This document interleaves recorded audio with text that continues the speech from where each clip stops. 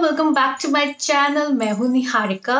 सो आज का वीडियो आप समझ गए होंगे it is about those products जिन्हें बाय करके मैं कर रही हूँ रिग्रेट और मैं टोटली नहीं कहूँगी प्रोडक्ट्स पूरी तरह बेकार हैं या यूज़ करने लायक नहीं लेकिन कुछ ना कुछ इनके साथ है अप एंड डाउन जिसकी वजह से मैं इन्हें यूज़ नहीं कर पा रही हूँ या फिर यू you नो know, पूरी तरह मतलब मेरे मतलब का ये प्रोडक्ट नहीं है। तो यस yes, तो चलिए स्टार्ट करते हैं वीडियो लेट्स स्टार्ट सो जो सबसे पहला प्रोडक्ट है वो है ये। ये है प्लम का एलोवेरा जेल नॉर्मली मैं पतंजलि का जेल यूज़ करती हूँ मैं बहुत ज़्यादा अमाउंट में यूज़ करती हूँ। और क्या होता है लॉकडाउन वॉकडाउन में मुझे उतना मिल नहीं पा रहा था तो मैंने सोचा कुछ और ट्राई करते हैं। तब ये तभी आया था। uh, पहली चीज़ तो ये बहुत ज़्यादा रनी है। ऐसा लग रहा है मैं कोल्ड ड्रिंक की बॉटल को हिला रही हूँ मतलब इतना ज़्यादा रनी है कि मैं इसको हल्का सा भी टिल्ट कर दूँ तो पूरा बह के निकल आएगा। मतलब इतना रनी एलोवेरा जेल मैंने नहीं देखा। मतलब जो मेरे, मैं यूजली यूज़ करती हूँ, उसको मुझे अच्छे से दबाना पड़ता है तो जेल के फॉर्म में निकलता है बार बार धीमे धीमे पर ये बहुत ज़्यादा रनी है तो उसको अप्लाई करना इस लाइक थोड़ा मैसी रहता है। प्लस इसकी इंग्रेडिएंट लिस्ट थोड़ी ऐसी कि मुझे मुझे ना थोड़ा सा श्योर नहीं कि मैं यूज़ करूँ कि नहीं करूँ। पहली चीज़ तो इसमें स्लाइसलिक एसिड है और अगर आप बहुत ज़्यादा क्वांटिटी में स्लैसलिक एसिड यूज़ करोगे तो वो उल्टा स्किन को ड्राई करने लगता है। और ये एलोवेरा जेल में, जो कि मैं बहुत ज़्यादा यूज़ करती हूँ, और मेरी स्कैल्प ऑलरेडी ड्राई है, और इसीलिए मैं एलोवेरा अप्लाई करती हूँ कि वो ड्राइनेस को किसी तरह यू नो नॉर्मल करे, मेरे लिए नॉर्मल हो जाए। तो यहाँ पे उल्टा है मतलब मुझे समझ नहीं आ रहा कि मैं यूज़ करूँ, कितनी क्वांटिटी में करूँ कब कब करूँ। तो वो इंफॉर्मेशन भी नहीं दी हैं तो इसलिए मुझे थोड़ा सा इंग्रेडिएंट समझ नहीं आए।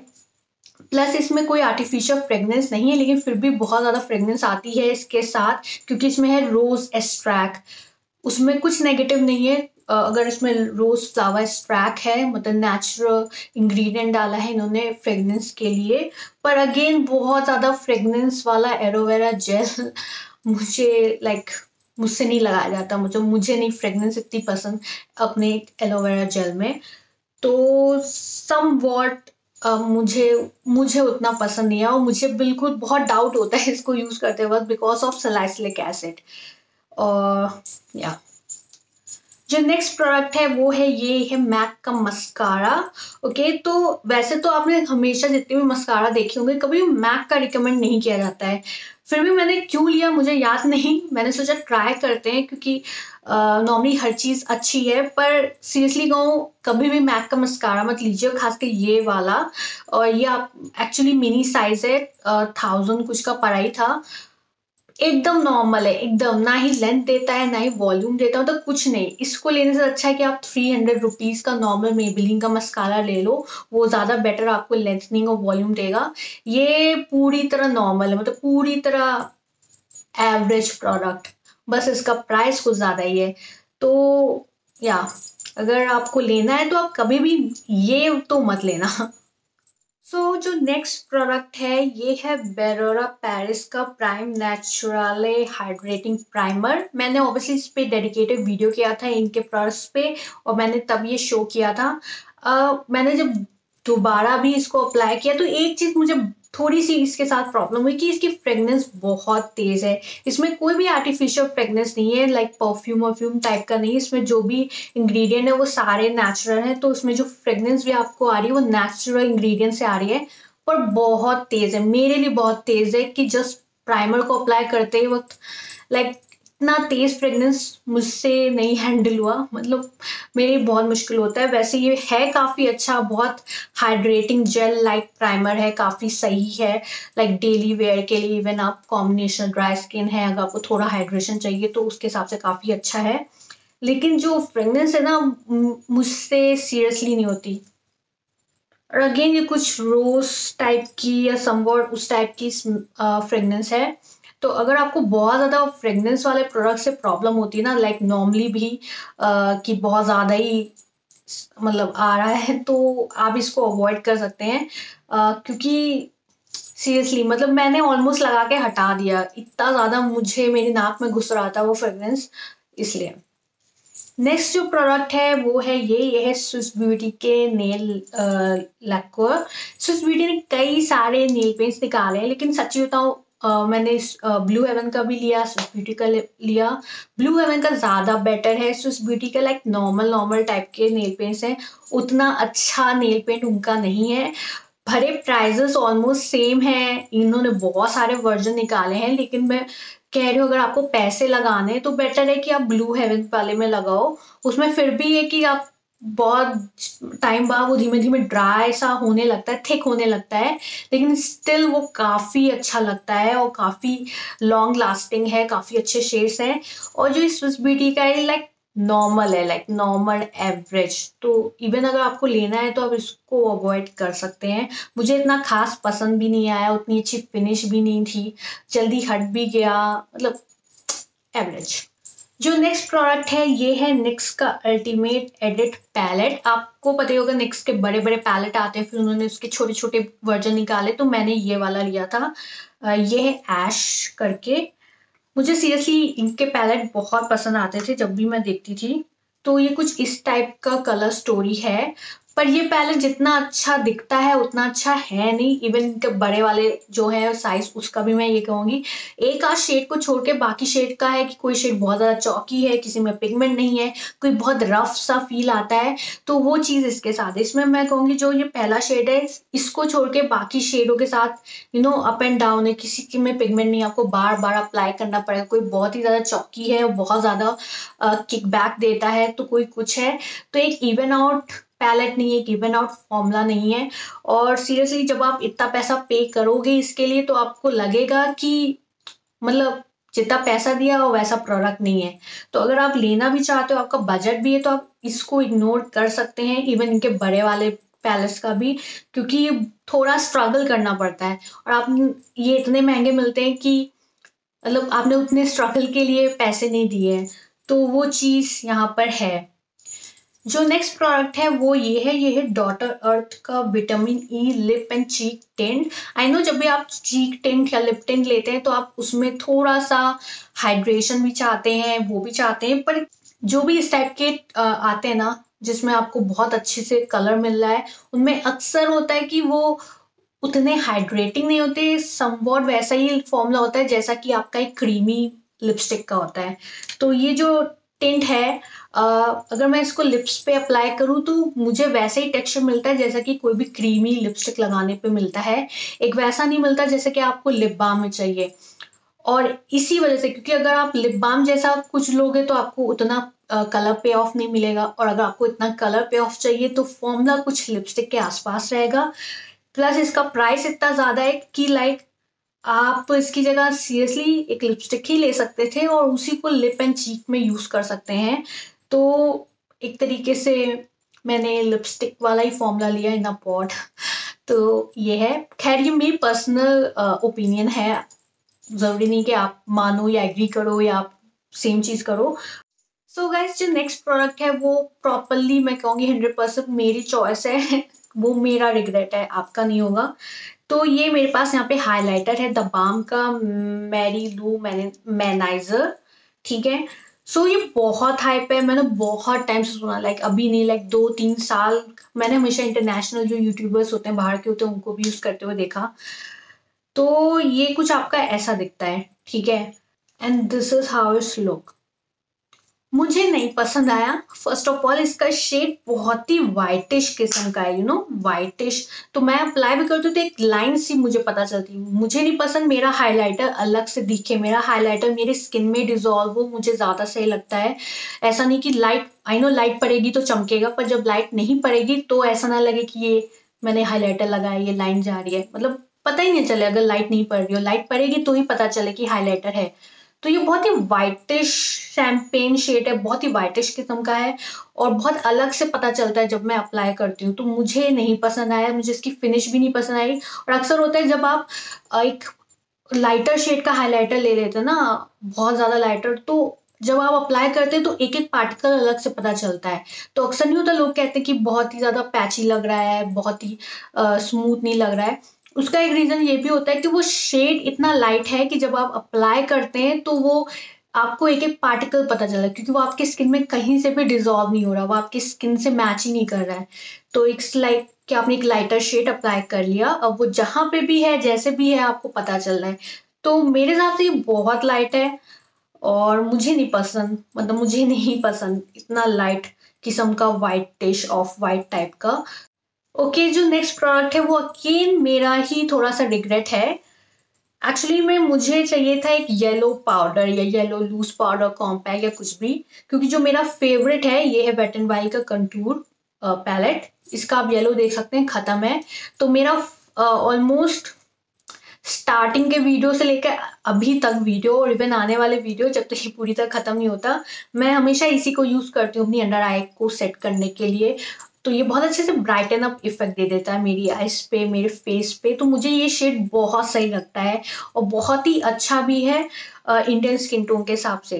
पर अब ये जो वाला वर्जन है, ये आता ही नहीं इंडिया में। तो मैं ऑलमोस्ट एंड अप पे हूँ। तो मेरी सर्च जारी है कि मुझे ऐसा शेड चाहिए।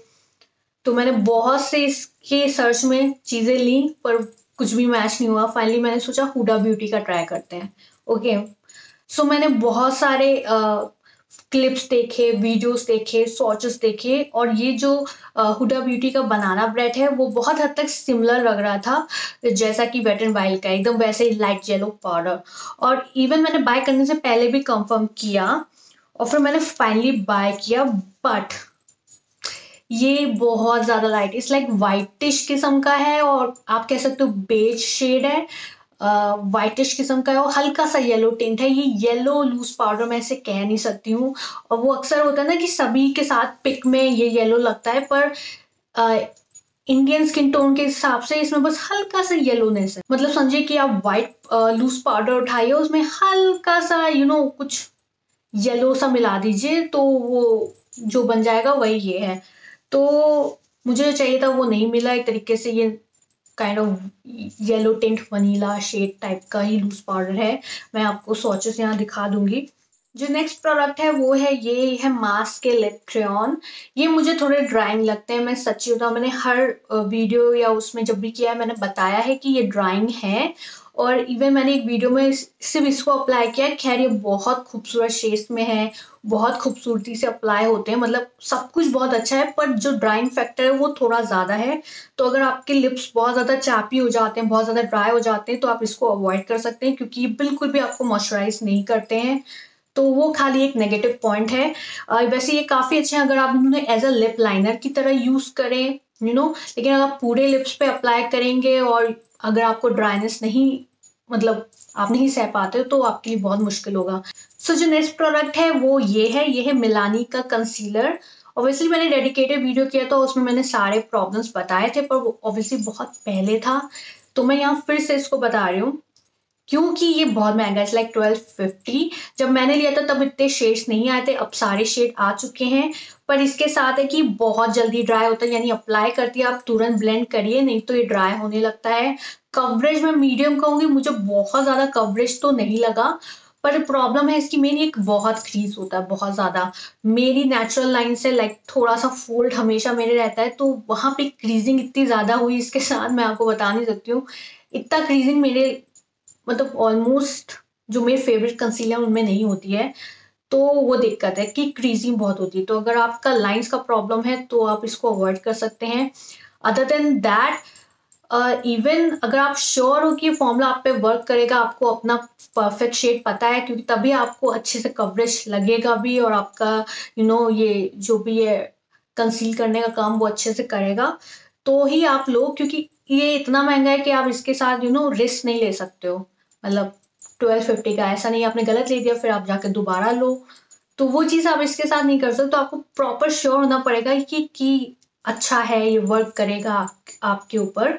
मुझे ये खास नहीं लगा वैसे मुझे इसका फाउंडेशन बहुत ज़्यादा पसंद है वो मेरा फेवरेट है वही मैं हमेशा यूज़ करती हूँ पर मेरे लिए कंसीलर उतना वर्क नहीं किया। ना ही मुझे उतना कवरेज मिला और जो कंस, क्रीजिंग वाला प्रॉब्लम था वो मेरे लिए बहुत ज़्यादा था। तो नो सो गाइज़ जो नेक्स्ट प्रोडक्ट है वो अगेन मेरा रिग्रेट है आपका नहीं है और ये मेरी ओपिनियन है तो ज़रूरी नहीं है आप मानो। इस this this is cuff and lashes enchanting palette मैंने इसे दो महीने पहले लिया था और तब तक लाइक like, बहुत से थोड़े बहुत रिव्यूज़ आ चुके थे यू नो मिल रहा था लाइक लॉकडाउन के आसपास। और इसका प्राइस थोड़ा सही था मैंने कहा थोड़ा बजट में इसको ट्राई करते हैं। पर कहीं पे भी इसके पैकेजिंग के बारे में नहीं लिखा था। तो मैं हाँ मैं पैकेजिंग वाली हूँ। तो इसके बारे में कहीं भी पैकेजिंग के बारे में नहीं लिखा था। नॉर्मली uh, जो इनके पैलेस होते हैं उनकी मेन यूएसपी यही होती है कि वो मेड इन इंडिया है और पैकेजिंग वुडन है। मतलब तब तक तो यही था। तो मुझे लगा ये भी होगा पर जब मुझे ये थोड़ा इस टाइप की पैकेजिंग मिला हार्ड कार्डबोर्ड में तो थोड़ा सा लगा कि अरे मेरा कार्डबोर्ड क्यों है? पर फिर भी प्रॉब्लम नहीं है कार्डबोर्ड पैकेजिंग के साथ। मतलब जो आपका हुडा ब्यूटी का पैलेट आता है, वो भी कार्डबोर्ड है, जो आपके ब्यूटी ग्लेस के पैलेट आते हैं, वो भी कार्डबोर्ड है। तो कार्डबोर्ड के साथ कोई नहीं, आधे से ज़्यादा पैलेट आप कार्डबोर्ड के साथ कार्डबोर्ड के आते हैं। प्रॉब्लम ये है कि इसका कार्डबोर्ड बहुत ही ज़्यादा पतला है मतलब बहुत ही ज़्यादा ये कुछ फ्लेक्सिबल है, आप देख सकते हैं। मतलब अगर आप इसको ट्रैवल करेंगे तो ये इस तरीके से थोड़ा सा बेंडी हो सकता है, जो कि नॉर्मली पैलेट नहीं होते। पैलेट थोड़े स्ट्रॉन्ग एंड स्टर्डी होते हैं तो मुझे ये स्ट्रॉन्ग एंड स्टर्डी नहीं लगा। आपका जो मेन प्रोडक्ट है, जो अंदर है आई शेडो जिसके लिए आपने पे किया है, उसको सेफ़ रखने के लिए। क्योंकि अगर आप ट्रैवल करते हो, थोड़ा सा भी इस पे वेट पड़ता है और कहीं पे, उसकी वजह से आपका अंदर जो प्रोडक्ट है, वो टूट सकता है। इवन अगर आपका ये बेंड कर दिया या किसी ने कर दिया तो आपको इसको क्लोज करने में भी दिक्कत होगी और हमेशा ये थोड़ा खुला रहेगा, जिसकी वजह से हाइजीनिक हाइजीनिक पर्पस का भी प्रॉब्लम रहेगा। अनदर थिंग जब आप इसको ओपन करते हो, वैसे इसमें कोई मिरर नहीं है। और वो इतना इशू नहीं है। यहाँ पे जो पेपर यूज़ हुआ है लाइक ये पेपर पैकेजिंग है। नॉर्मली क्या होता है पेपर सब में होता है, पर उसके ऊपर एक एक सेलोफिन का लेमिनेशन होता है, ये प्लास्टिक रैप का लेमिनेशन होता है। तो क्या होता है कि कुछ गंदा भी होता है या उसके ऊपर आई शेडो लग भी जाते हैं तो आप क्लीन कर सकते हो। यहाँ पे आप नहीं कर सकते हो क्योंकि ये जो पेपर है ऑब्वियसली अगर इस पे आई शेडो लग जाएँगे तो ये सोकेगा थोड़ा सा आपका प्रोडक्ट बेस भी होगा, गंदा भी होगा, आपको क्लीन करना भी मुश्किल होगा, जो कि वैसे में ईजी पड़ता है। प्लस क्योंकि अगर आपके घर में बच्चे हैं तो ये पेपर का है तो ऑब्वियसली पेंसिल वेंसिल लेके फाड़ने का पक्का है या आपके नेल्स हैं तो पैकेजिंग फट सकती है। ये छोटे छोटे इशू है पर मुझे इशू लगे। और नॉर्मली पैकेजिंग का काम क्या होता है? पैकेजिंग का काम आ, बस आपका प्रोडक्ट सेफ़ रखना होता है। ऑब्वियसली आपको पैकेजिंग चाहिए। अगर आपको अपना प्रोडक्ट सेफ़ रखना है हाइजीनिक तरीके से रखना है तो आपको पैकेजिंग चाहिए। और पैकेजिंग सिर्फ़ एवरेज स्टैंडर्ड पैकेजिंग हो उतना काफ़ी है। पर इसके साथ ये कहीं ना कहीं वो स्टैंडर्ड थोड़ा सा जो है ना एवरेज पैकेजिंग वहाँ पे ये लैक करता है।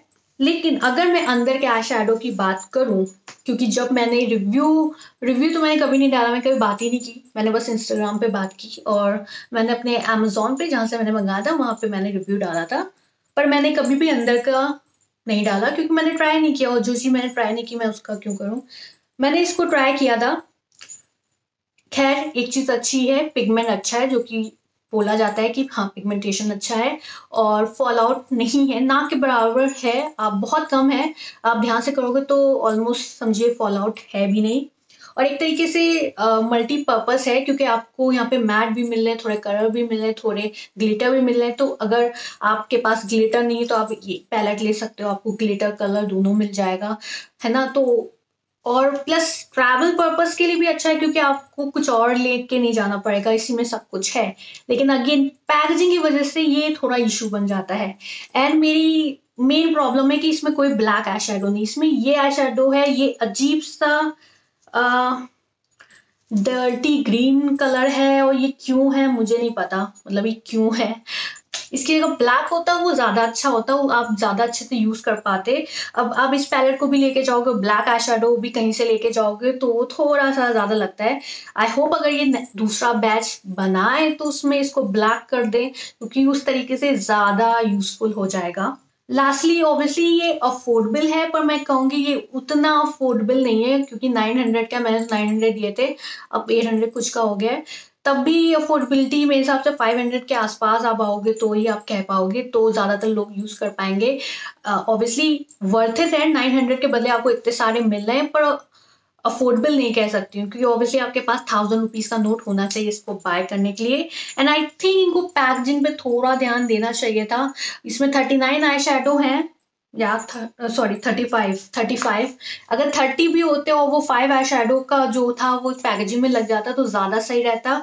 जो पैकेजिंग का कॉम्प्रोमाइज़ है, वो समवॉट एक तरीके से जिसने खरीदा है, उसे कॉम्प्रोमाइज़ करना पड़ रहा है। ना कि सेलर को बायर का कॉम्प्रोमाइज़ है। मुझे ध्यान से रखना है, मुझे ध्यान से यूज़ करना है। तो वो चीज़ थोड़ी सी मुझे नहीं सही लगी।